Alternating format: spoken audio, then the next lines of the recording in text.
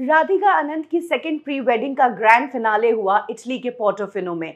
Portofino की कई तस्वीरें और वीडियो सामने आई, जहाँ पर देखा गया कि कैसे अंबानी इसके गेस्ट ने पूरा इटली का मज़ा लिया म्यूज़िक एंजॉय किया, वहाँ का खान पान एंजॉय किया और साइट सीन किया। अंबानीज ने पोर्टोफिनो को पूरी तरह से रेंट किया था और जब तक अंबानीज के 800 गेस्ट और बाकी स्टाफ मेंबर्स पोर्टोफिनो में थे, तब तक पोर्टोफिनो का कोई भी लोकल कोई भी टूरिस्ट और बाकी कोई भी अथॉरिटीज़ अलाउड नहीं थी। यानी कि पोर्टोफिनो की गवर्नमेंट से अंबानीज ने पूरा पोर्टोफिनो कुछ घंटों के लिए रेंट पर ही ले लिया था। जहाँ अंबानी का नाम लेकर इस चीज़ को बहुत बड़ा बताया जा रहा है कि कैसे इटली में जाकर एक गाँव ही पूरा उन्होंने रेंट पर ले लिया। वहीं अब पोर्टोफिनो की लोकल पब्लिक इस बात से बिल्कुल भी खुश नहीं है और अंबानी की शादी के लिए और अंबानी के गेस्ट के लिए भद्दी भद्दी बातें इटालियंस जो है सोशल मीडिया पर कर रहे हैं।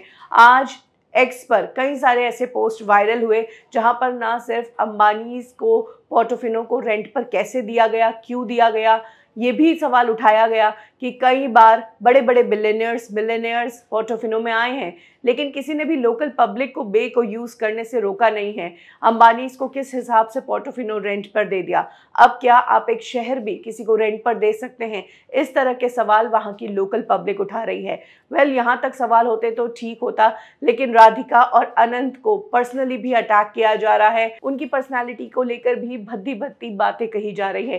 कई लोगों का ये भी कहना है कि आखिर मेयर ने कितना पैसा लिया है पोर्टोफिनो को पूरा रेंट देने के लिए? और मेयर ने किस हिसाब से पोर्टोफिनो को अंबानीज को रेंट दे दिया है? वहीं कई लोगों का ये भी कहना है कि अंबानीज ने तो सिर्फ़ रिक्वेस्ट किया कि हमारे इतने गेस्ट यहाँ पर आने वाले हैं, क्या आप हमें रेंट पर दे सकते हैं? मेयर ने जो पैसा मांगा, वो अंबानीज ने दिया तो उन्हें वो सारी एक्सेस मिल गई। पब्लिक के इस गुस्से पर मेयर का बस इतना जवाब आ पाया है कि अंबानीस और उनके जो गेस्ट थे, उसमें कई वी थे, जिनकी जान को खतरा हो सकता है टेररिस्ट अटैक हो सकता है। इसीलिए पूरे बे को क्लोज रखना पड़ा और यही कारण है कि लोकल लोगों की एक्सेस को रोका गया। बताया जा रहा है कि लोकल लोग इस बात से भी नाराज़ है कि आधी रात तक म्यूज़िक चलता रहा, लोग वहाँ पर आराम नहीं कर पाए और वीकेंड पर जब सबसे ज़्यादा टूरिस्ट होते हैं, जब कमाई सबसे ज़्यादा होती है, तभी अम्बानीज ने पोर्टोफिनो को ब्लॉक कर दिया।